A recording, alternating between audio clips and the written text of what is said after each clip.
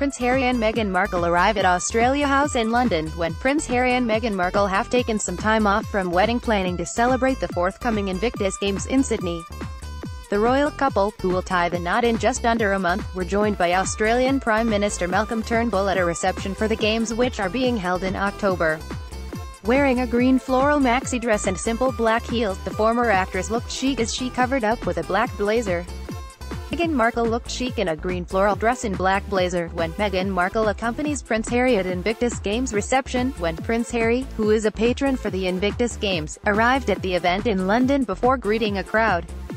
It's just one month to go until Meghan walks down the aisle and marries Prince Harry. It has been revealed that the stunning American will wear two dresses on her May 19th wedding, much like future sister-in-law, the Duchess of Cambridge Kate Middleton, Prince Harry and Meghan Markle arrive at Australia House in London, Wenn the brunette is expected to go for a formal wedding gown with a tailored fit and lace, followed by a statement frock. Royal reporter, Emily Andrews revealed the 36-year-old star's fashion choices on ITV's Lorraine show as she told how one would be formal, and the other, full-on glamour, for the after-party at Frogmore House. Emily told how Meghan, 33, had requested a long-sleeved, high neckline gown with a slight bodycon fit and a lot of embroidery for the lunchtime service.